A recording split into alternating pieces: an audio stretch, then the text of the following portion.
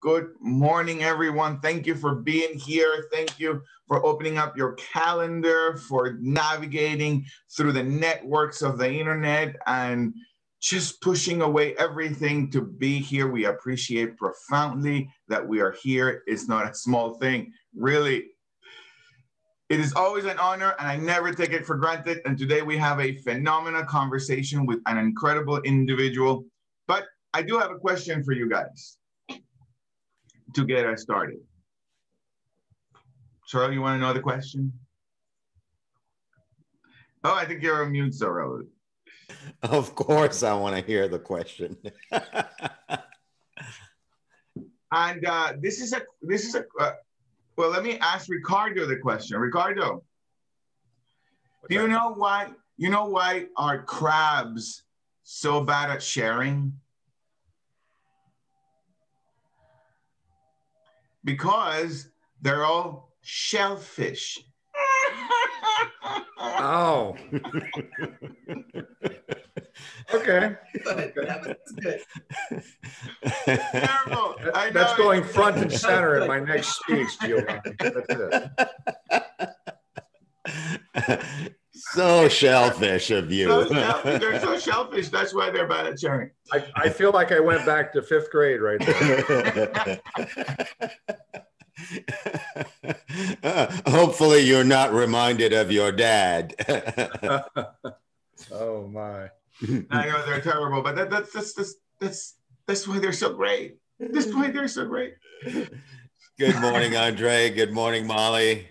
Ronald. Good morning, how are you? so let's get us primed for Ricardo, for Saurel. Great to be with you. Michael, good morning. How are you, sir? I am as I say that I am, and I am happy. Happy. Yeah. Awesome. Thank you. Thank you, Michael. Jacqueline, good morning. Where are you? Good morning, Gio. Good morning. I am right where I'm supposed to be, right here on the Daily Huddle. Good morning. That is awesome. And Andre, two questions for you, Andre. What time is it? And one thing you're grateful for? Is the time is right now, and I'm grateful to be in the game. Awesome.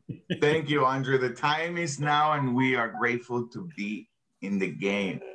Saurel, America's executive coach, America's leadership coach. Thank you for being here, Saurel, and creating this space where a quarter of a million people have had a chance to hear the Daily Huddle. Your leadership has a domino effect, Saurel. Thank you for creating this, and thank you for being here. Good morning, Saurel. Thank you, Giovanni. You are the number one transformational leadership coach, my partner in, in creating this. And I want the world to know that uh, this thing called the Daily Huddle is nothing without the listeners, without you. So 226 episodes, and it's all because of you. So thank you this morning. Like no other morning, we have a phenomenal conversation. And that conversation is coming to us directly from the island of Hispaniola the Dominican yes. Republic. And Giovanni, I cannot wait for you to introduce our speaker, Mr. Ricardo Gonzalez. Yes, thank you, Saurel. We have a phenomenal conversation. Last time he was here, we were elevated in an opportunity to interact with leadership and culture in a particular way that only Ricardo knows how to deliver. So I'm going to say just a few things. And as I always like to say, it does not give justice to his life, but I'm just going to just paint a few, point to a few things.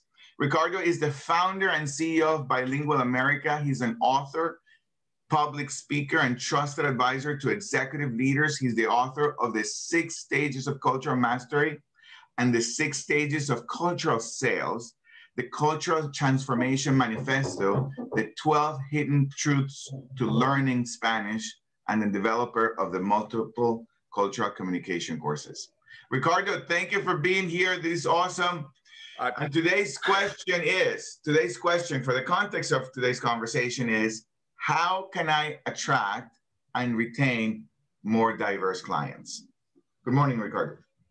Uh, First of all, I, I have to say the, the wisdom of your three guests who, who just, I am, I am who I say I am. I am where I am. And, and, and the last gentleman, I, I'm, I was, I'm trying to remember now what it was, was The like, had- now. yeah, it, it, yes, exactly. It, it's just like the the philosophical wisdom there was was pretty outstanding. The answer to your question is through a process, Yes. and to go a little bit deeper, Giovanni, people are not that culturally intuitive, and so there's a skill set that's necessary to be able to attract and retain diverse clients. So the answer is a process. Not because if you don't if you don't have a process, all you have is a bunch of disjointed and disassociated thoughts and ideas that never work together. They never come together in concert. And so you're like this person who's trying to put together a 2000 piece jigsaw puzzle using pieces from multiple boxes that are not designed to fit together. So I, you have to have process, right? Yes, absolutely. Yeah, and so in the context of creating today's conversation, and you have, uh, we have until right around nine twenty, and then we open it up for questions and answers. Sure. How do you see, how do you see um, the opportunity of such a? It's like we are embracing an opportunity to being a diverse culture, yet embracing it has created such a divisive culture. So so, and then companies, in they're being pulled to, or people who run companies, they're being pulled to. Well, I got to do something to either have PR or really actually have diverse cultures.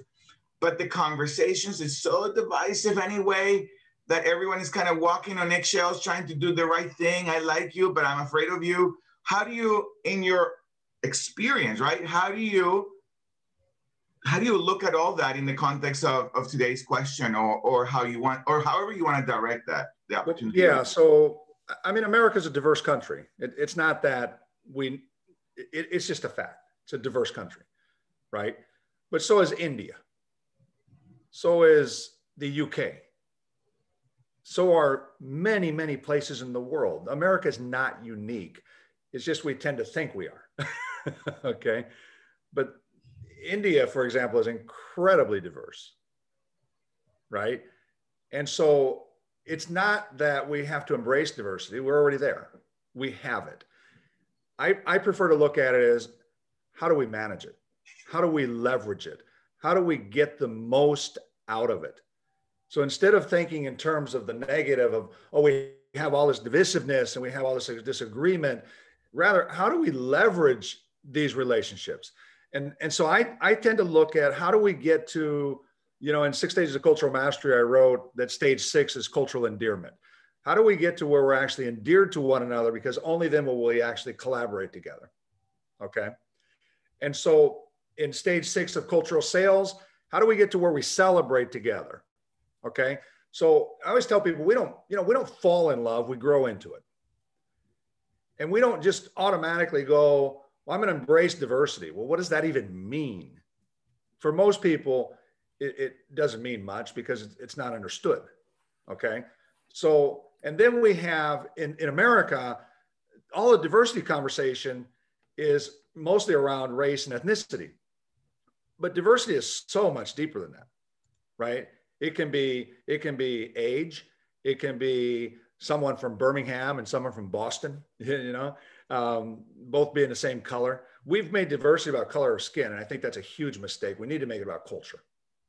Okay, so I, I want to lean into your question because uh, you had said to me this conversation is about attracting and retaining diverse clients, right?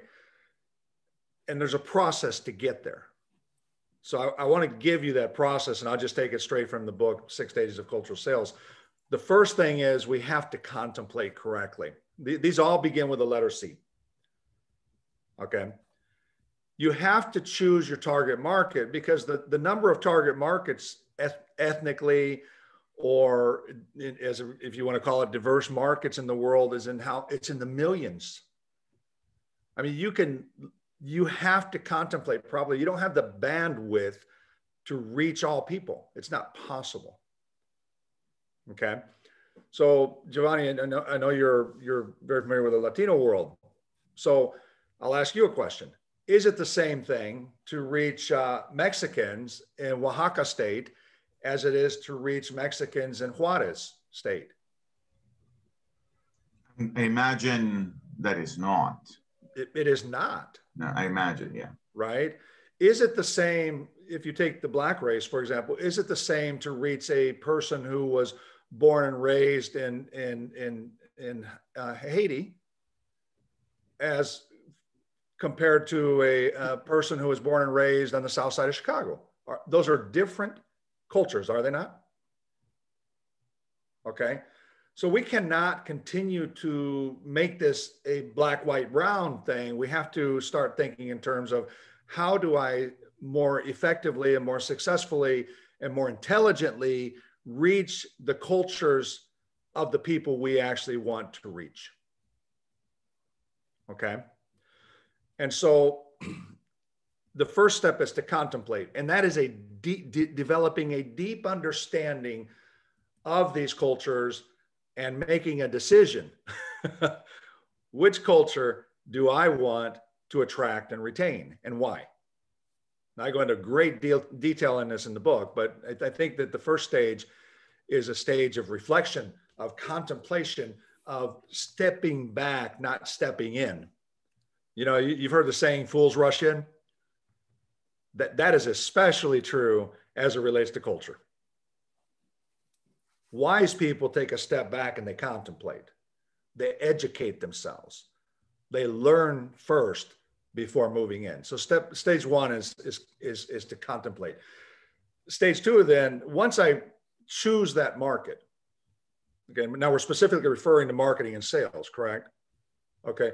Once I choose that market, okay. So let's let's share another difference. Is there a difference between marketing and selling to? Um, I believe it was Robert. You said you lived in Naranjito, Puerto Rico, which is a mountain town, kind of towards the north side of the island, but it's in the mountains. Okay.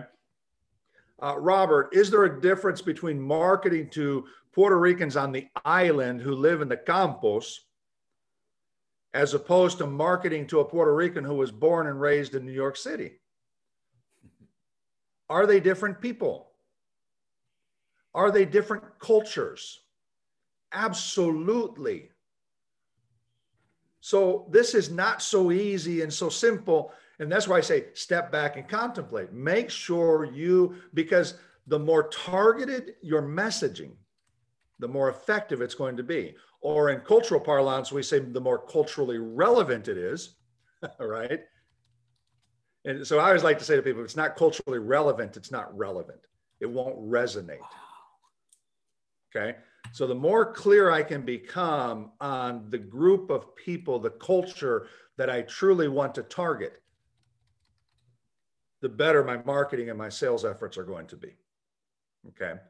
It's better to dominate a smaller market because we got really, really good in that market than to be so wide that we have no real impact in any market. Okay, does that make sense? Okay, choose. okay. Uh, there's some great stories of this. There's a, there's a, a, supermarket, small Latino supermarket chain that was started in, in New York City called Bravo Supermarkets. And they were specifically for Puerto Ricans and Dominicans, Dominican family that started this supermarkets, right? And that was their market. And Puerto Ricans used to be like 70% of Latinos in New York City, but that's no longer true. We're actually under 30% now.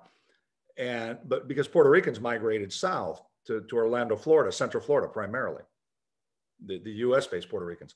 And so Bravo supermarkets beat Publix, which is out of Lakeland, Florida. They beat them to the cultural punch.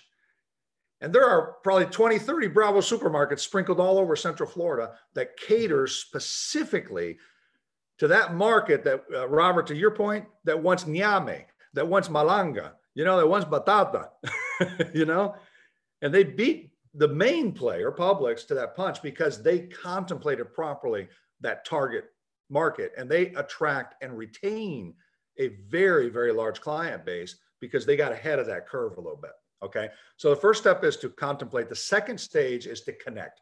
Once we choose the market, okay, we have to properly connect with it. Now, there are ways to do this. And I know we're very compressed on time, so I'm not going into detail. I just encourage people to pick up the six stages of cultural sales, okay? Because we go deep into these things. After we connect, stage three then is to create. We have to create culturally relevant products and services that people will be attracted to. Okay. So I'm looking at Robert, and he, I know because of the picture behind him that he is a fan of Muhammad Ali. Right.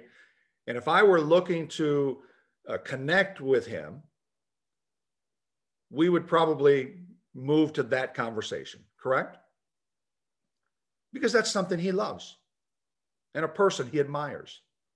Okay. We have to contemplate, we have to connect, and we have to create if I could somehow create a product or service that um, included perhaps maybe a, a, framed quote from Muhammad Ali, I could probably sell that to Robert if I framed that up correctly. Am I correct, Robert? Okay. So I have to contemplate, I have to connect, I have to create uh, products and services that are culturally relevant. And then stage four is I have to campaign. I have to know within a given culture how to run my marketing and my sales campaigns. I have to know if people are uh, explicit or implicit communicators. Do they like to get things direct or do they kind of just need to hear it over time in, in multiple different ways? I have to know if people are coming from high and low context cultures.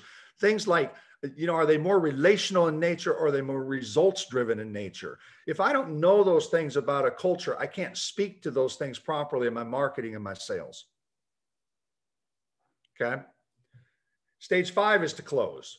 Most people in sales and marketing, they want to get to stage five and skip stages one through four. they just want to close. Right.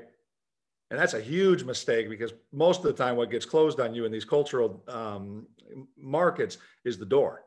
If you go in some culture, you go too quickly. You you move. You, you know, if you're on LinkedIn, you get these requests from people who want to connect with you, and then the next email, the next message you get from them is to sell you something, and everything is screaming inside of you. Why don't you just take a little time to get to know me? Right? And so you have you have to close in ways that are culturally acceptable. For example, in the Japanese culture, you never really close. Okay? They will let you know. And in, a lot of times in the Latino culture, the, you know, you have to go through this process of having dinner with the family and and and getting to know people and go a little slower. And then when they're ready to do business with you, they'll tell you that, hey, you know, ¿qué es lo que podemos hacer aquí? You know? right? And so the, the, the, concept of closing in different cultures is, is unique and different. And then stage six is to celebrate. Here's the thing about these types of relationships culturally. If we structure them correctly, we get to stage six and celebrate.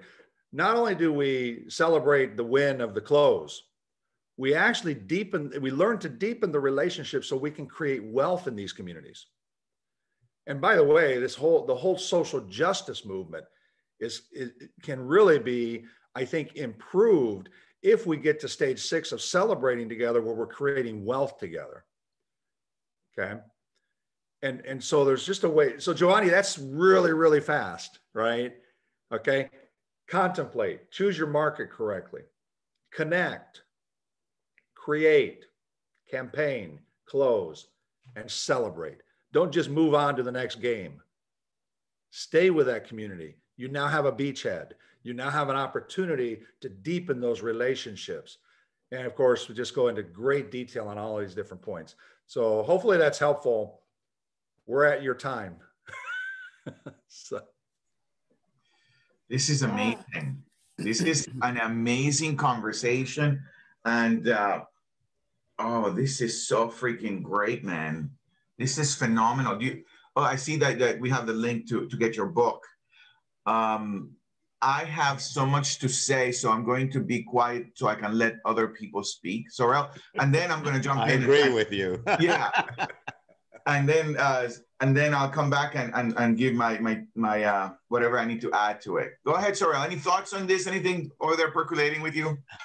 Well, the only thing percolating is uh, if if if you don't hurry and buy a copy of the six stages of cultural sales, you're not serious about your business. So I'm posting the link to that on Facebook, and I'll post it right here. So any questions, comments from anyone in the audience?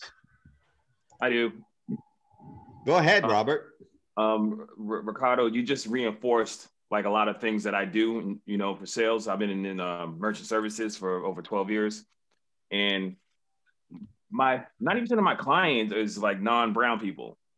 So, you know, I had to understand their culture. You know, but this, you know, most of it is American culture. But when I started dabbling, dabbling into like Indian culture, Filipino culture, Cambodian culture, like getting those Thai restaurants, you know, I I I grew up around that culture, so I would know about certain foods that normal Americans wouldn't know about, like papaya salad and stuff like that. And that's how I got those deals. So you, what you're saying is right. You really have to understand their culture. You know, and once you understand that, and they realize they see you take an interest in their culture and their way of living, they'll do business with you. Yeah, and I'll take it a little bit further, Robert. You have to know how to connect with the influences in their culture, uh, which is under stage two of connection. If if we can learn to connect with the proper influencers within a culture, it can really drive our business much more quickly because we're entering into a new culture. So we're at low trust point in that culture. But if we can connect and gain trust with a few influencers within that culture, that can drive our business much more quickly. So these partnerships are really, really important to be able to do this.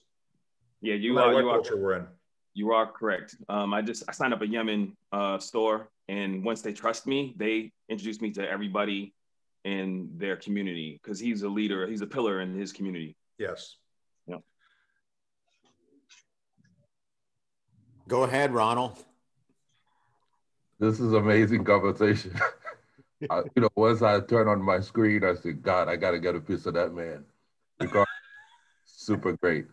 How did you get there? You know, I, I mean, being a bilingual person, how did you get there? And which market that you have culturally influenced? I mean, I know you you mentioned age. I mean, you mentioned Japanese. You mentioned uh, Indian. You know, like how to celebrate our closing with these folks. Uh, what did you? I mean, give us uh, one of your Okay. your uh, uh, I, I guess win or celebration. How Yeah, so I that's that's a great question. Thank you. Uh, I was raised in a bicultural home. My you look at me, you see this white guy. My my dad is actually Saurel's color. Uh, one of 27 kids from the mountains of Puerto Rico. I identify completely as Latino, but my mother was an orphan from the state of Kentucky. And so I, I literally, I tell people I'm a Puerto Rican hillbilly, right? But I have very little cultural affiliation with the Southern white culture, although I've had to learn to love it to love myself, right? One of the, you know, we've had a lot of wins. Uh, Ronald, we just recently just did a total transformation of a community college in North Carolina that was very segregated area, very difficult area to work in culturally. Uh, we've been able to really make great, great transformation in that. but from a sales standpoint, uh, National Roofing Contractors Association. This is the National Association of Roofing Companies, uh, commercial roofing companies. So there's a lot of money in this industry. It's a multi, multi billion dollar industry. And I began to be getting embedded in that industry. And so I, I kind of, if, if somebody talked about um, recruiting, selling to, training, developing Hispanic leadership in the roofing industry, the name was Ricardo. Call Ricardo. I mean, I would have people call me and they say, "Hey, they told me to call you. Who told you?" Well, they told me, right? And so we did so much business in that industry. At the, but at the end of the day, we transformed the industry. We opened doors for Latinos to be on the national board.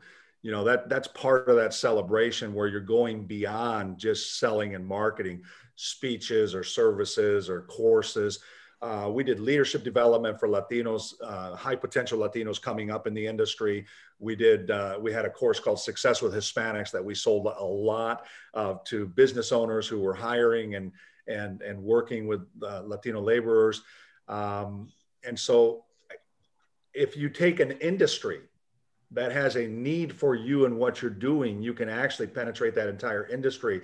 And you must understand that cultures are not just a group of, of black people or white people or cultures are churches have cultures, associations have cultures, uh, businesses have cultures. So you have to learn the culture of that. Like the roofing industry has a very specific culture, right? I had to learn that culture and then create products and services that would specifically meet the needs of that culture.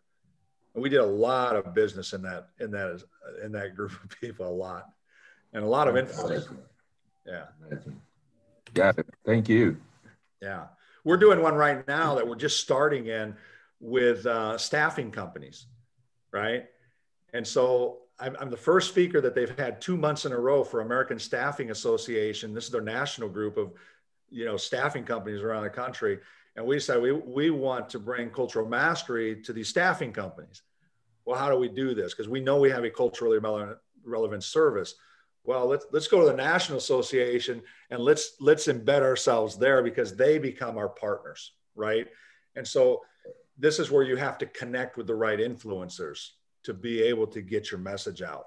Don't do this alone. Don't ever try to come into a new culture whether it's a country, whether it's a community, whether it's a company, whether it's an association, alone. You're the outsider. You must have internal partnership. Great. Thank you.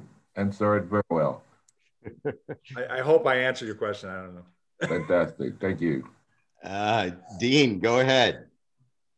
Yeah, I mean, what I'm really hearing is uh, the importance of getting related to who it is you need to connect with so you can have some inroads in that community. And um, the thought that's right there for me is, you know, I'm from Detroit, Michigan, born and raised, and I lived on the west side of Detroit.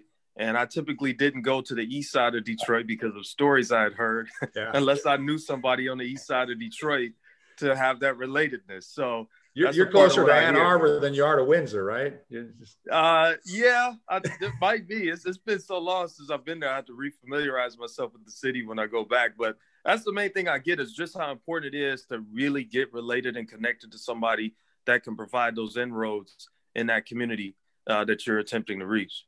Yeah, I think that's really true. But it's also really true that you have to, and this is stage three, you have to create – products and services that are culturally relevant to that group of people. If the group of people is worth your time, it's worth your bandwidth, right? And you can't reach all cultures. You just can't. Okay. If, even if even a company like Coca-Cola, right, which is global, which has over 500 brands, and they, by the way, they have a lot of regional brands. Okay. And so like in Brazil, you have Kuat, but you can't buy Kuat in the U.S. You know, it's it's a Guaraná based seed type of drink, right? And and so and and in, and in other countries they have, they have a drink in Africa called Sparletta, right? Well, you can't buy that in the U.S. So they're very regional. Coca-Cola is very regional in the way that they market their products. Okay, there's even a Coca-Cola drink that's called Coca-Cola Georgia Peach, right? That is regional to Georgia and so you have to kind of look at this and and ask yourself this question. Am I trying to kind of fit in with a shoe what do you call these things? Shoehorn, right? Is that what it's called? My products and ser- so the, look at the culture as the shoe, right? This is right. new. I've never used this analogy. It just came to me right now. Look at mm. the culture as the shoe, and you're trying to get your product or service into that into that culture, but it doesn't fit. And you're having to use this kind of the shoehorn. You know what I'm talking about? We're yeah, we're just trying to force it in. You're trying to force it in there, and that makes your marketing, your sales processes so much more difficult. Why not step back and actually create or tweak or readjust or change your existing products and services so that it fits so nicely right? and I think that a lot of the struggles that so many people have in selling has nothing to do with their sales processes. It has to do with their product and service not being culturally relevant. Mm. Makes a lot of sense. So always just you, I, I, there are multiple stages to that, and that's why I said at the very beginning, Giovanni, uh, this is a process. Mm-hmm. Okay. Yeah.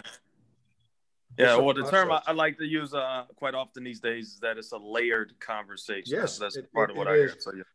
Absolutely. Mm, Now, yeah.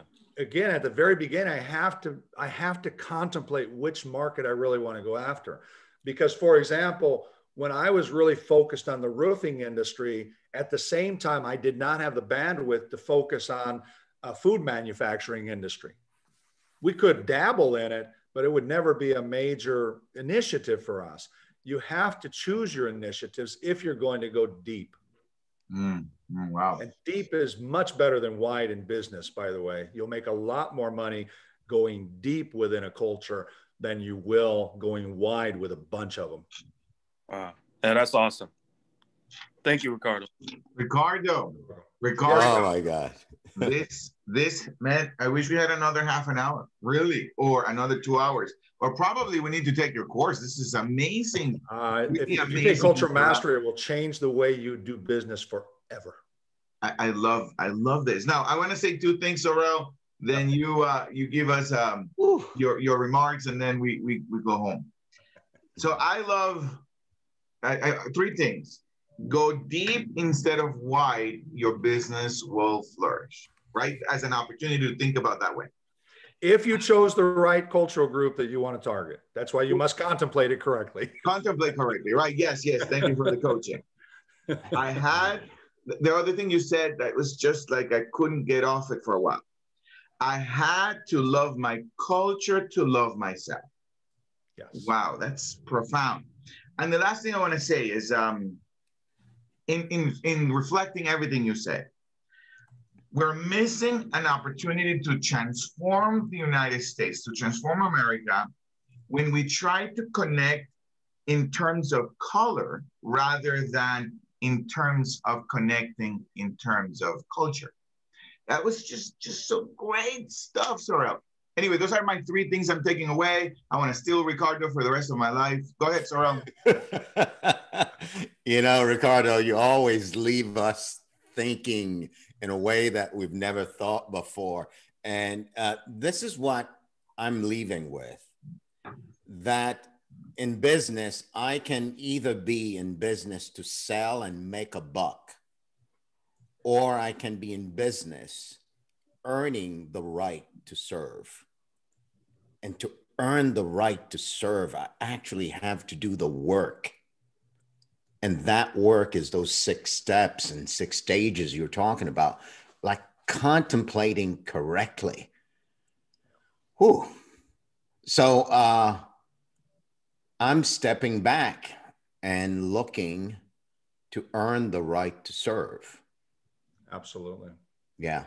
Absolutely. Um, by the way, I put my my scheduling link in the chat. If anybody wants to schedule 15, 30 minutes with me, no charge. Happy to have a conversation. Uh, anyone on this group. Um, you know, it's it it it's thought provoking stuff because most of us are approaching our businesses incorrectly. Uh, and I'll I'll close with this thought. Culture is the soil from which all things grow, including your business. Become a master at connecting and creating and collaborating with people of different cultures. And not only will you become more wealthy, you will become much more influential and you'll make a much greater difference in the world. And that's, I'll leave you with that. That's the perfect place to leave us. Thank you, Before, Ricardo. before you go, uh, Ricardo, you, you said you had put your uh, scheduling info in the chat. Yes, it's not there. Yeah. Not there? You- Oh, Press send, uh, I'm sorry. press enter. Yeah, you can't leave a hanger like that. Everybody's like, where, where is it? how, about, how about now? Where, where, where's the link? Where's the link? How about now? I put I put my scheduling link and I put my um, my my direct web page there as well. That, that was my not fault. the company pages; those are my personals. You sent it directly to me. That was my fault because I because I sent it to you. So send it right back to me. That was the Ali aura and influence over. Very good. So thank you all for being here. Really, I appreciate it, Ricardo profoundly. You took time to be here. You're welcome to come back anytime. And uh, we'd love to have you back and, and just keep exploring the six stages to cultural mastery and the, and the six stages to sell into a culture. I said it wrong and I apologize for that. Um, there are Saurel and Saurel and everybody, there are there are five ways to live a long life, have a great skin, have an amazing body, be sexy for the rest of your life. And Saurel is going to tell us, and whatever he ends with, we're going to move to the music that comes next. Go ahead. Every time you say this, Giovanni, I have to laugh. five ways, only five ways. And if you mix them up with the six stages of cultural mastery, you will be in paradise. So, love. Yeah, do love. And uh, laugh. Laugh like crazy. Laugh at yourself. Laugh at Giovanni's jokes for sure. uh, eat. Eat more plant based. Stress less and move like crazy. I love you madly. I can't wait to see you tomorrow morning. Giovanni,